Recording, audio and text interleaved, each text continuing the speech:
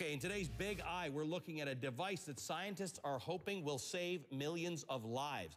Detecting melanoma, melanoma, the most lethal form of skin cancer, relies on nothing more than the human eye.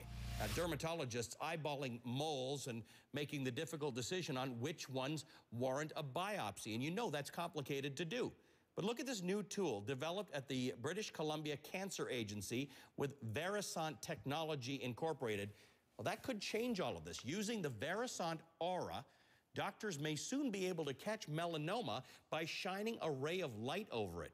To tell us more about this is Thomas Braun. He's the CEO of Verisante Technology, uh, joining us from Vancouver. Uh, Thomas, thanks very much for this. Uh, uh, first of all, for people who aren't familiar with how you determine melanoma, generally speaking, uh, it's determined because something has shown up and you're, you're not used to it being there. And often it's missed because people uh, may have other marks or moles or hair on their body and weren't able to detect the mole.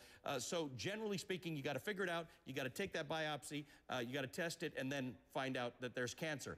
This jumps, uh, skips a few of those steps. Absolutely. With this device, we're scanning 21 biomarkers in about half a second, and we can see things that the human eye can't see. What's the uh, accuracy of this? I know you've done some testing on it. The preliminary results were published in 2008 on the first 274 lesions scanned and biopsied and out of 34 melanomas, the device detected all 34. Wow, so that it was 100% of those that, that were biopsied that were, were cancerous? Correct.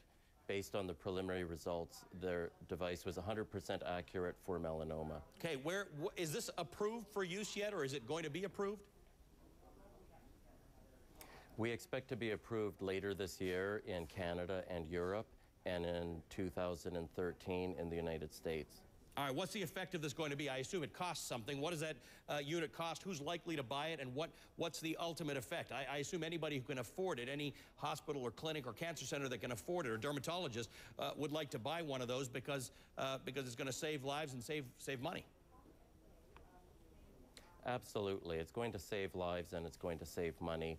We're aiming for a cost of about $30,000 uh, for the doctors. And to start with, we think that dermatologists will be the people who buy it. Okay, we, we hear about false positives a lot. Is there a danger that this device might miss a mole that turns out to have melanoma? There's always that chance, and as you collect more data, there, we may eventually miss a melanoma. There's also human error that's involved. The device has to be used correctly, but right now, based on just a visual exam, doctors have a sensitivity or an accuracy of anywhere between 16 and 69 percent, depending on whether they're a GP or a board-certified dermatologist. So even if we're not 100%, if you're close to 100%, you're still improving the sure. situation dramatically. Thomas, good to talk to, you. Lives. This is great, uh, great technology. We'll follow its, uh, its uh, commercialization with interest. Thomas Braun is the Chief Executive Officer of Verisante Technology. You want to learn more about this technology, or if you want to pitch us a big I that you think should be covered, go right to